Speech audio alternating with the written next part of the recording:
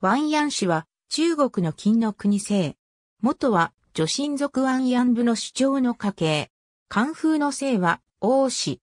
その始祖は箱広氏であり、1115年、この公営であったワンヤンアグダが、弟の五骨カイラ一族と共に独立して、副属先である領の重圧に反旗を翻し、金朝を建国した。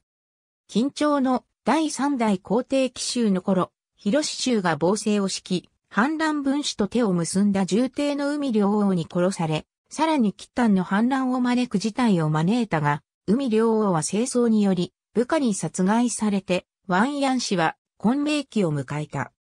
その後、海、両王の重帝が即位し、清掃となり、それまでの暴政を刷新、財政改革と人事の刷新を図るなど前世に、努め、金朝は再び安定期を迎えた。しかし、清宗の七男の英将王が即位する頃、モンゴル帝国の伸長により、金朝は国家滅亡の危機を迎えた。英将王は即位したものの、モンゴル帝国の副属韓国を退け、あくまでこれを滅ぼすことに終身し、かえって国を窮する事態を招き、帝位を剥奪された。英将王の老いの戦争が即位したが、都の中東を包囲され、喪失である最小のワンヤン副教の権限で、高圧思考主をチンギスカンの記載に差し出した。これにより一時的な和睦は果たされたが、その後もモンゴル帝国の構成は続き、聖火との同盟に活路を見出そうとするも聖火が滅亡し、戦争は失意のうちに崩御した。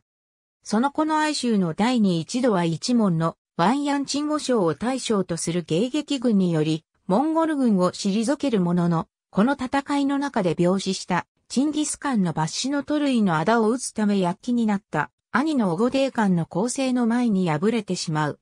哀州は一族の末帝にくらいを譲るが、末帝もモンゴル軍に捕獲され、ワンヤン氏は一族滅亡した。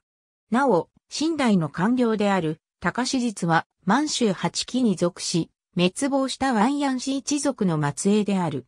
日本に帰化した中国人画家の大明の父のワンヤンアイランは、金の清掃の27代の末裔である。ありがとうございます。